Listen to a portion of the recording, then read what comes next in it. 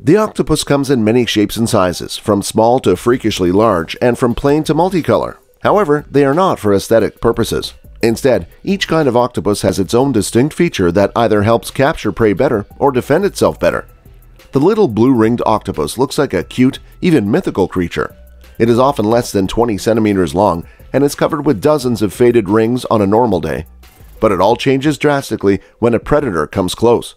The rings turn into a bright blue, and the octopus turns darker in color, giving it a ferocious appearance that can strike fear or at least shock in most predators' hearts. Most of the time, however, they avoid contact and hide in shells and rocks near the beach.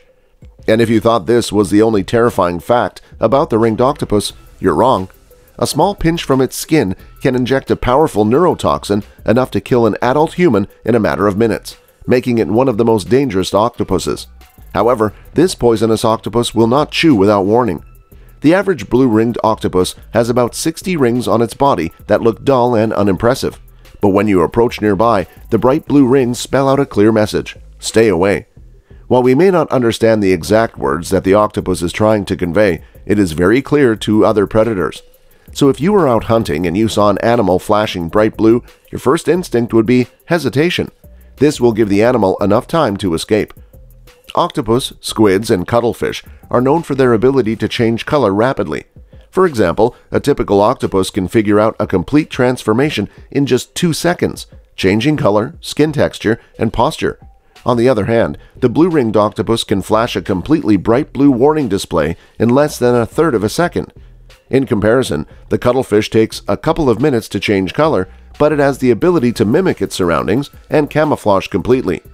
So how do these animals, especially the blue-ringed octopus, flash such pretty warning colors?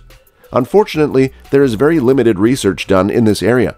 Lydia Mäthger, a biologist at Woods Hole's Institute for Marine Biology, and her colleagues attempted to find an answer to the interesting question. To do this, they observed six adult blue-ringed octopuses and videotaped them at very low speeds. The octopus usually relies on three skin structures to create the intricate display. Chromatophores are pigment-filled sacs that are controlled by the muscles around each sac. Bending or contracting these muscles causes the sac to expand or contract, changing the octopus's appearance in each region.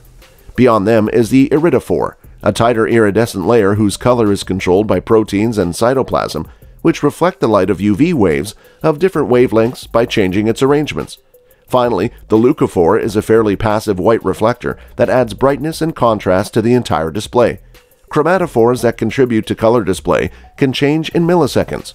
In contrast, standard iridophores and leucophores that change color or luminosity depending on physiological changes can take up to a few minutes.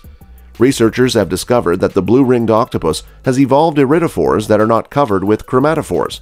These blue rings are located in the skin pockets of the muscles and quickly relax or contract, exposing more or less iridescent structures.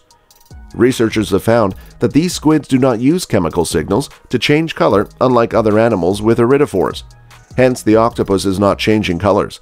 It is instead exposing the blue underneath in situations of danger. A quick and flashy display of color with muscle control is an advantage for predators who are warned before attacking poisonous creatures, and of course for the octopus itself, to make it inedible. To create a more striking and clear warning signal, the chromatophores surrounding the blue rings turn dark brown and the chromatophores in other parts of the body fade, creating a high contrast with the bright blue ring. This makes the warning clearer, but also gives it a more terrifying, out-of-the-world appearance. So why did this animal evolve blue rings as its warning sign? Why not red, which has higher wavelengths? As Mäthger and her colleagues found in their study, most animals that can be predators to the octopus, such as whales, sharks, seals, and large birds, have the ability to see the blue-green spectrum of wavelengths.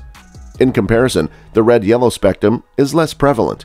In addition, they found that the turquoise part of the visible spectrum is the most prominent surrounding light field in the water, so these hues spread and often pop. Blue also appears more inedible compared to other colors. The octopus also uses its rings as a way to signal to other octopuses nearby in case of danger. This signaling method has never been observed in controlled environments before. Researchers have found that this strategy works in two of the known blue-ringed octopus species.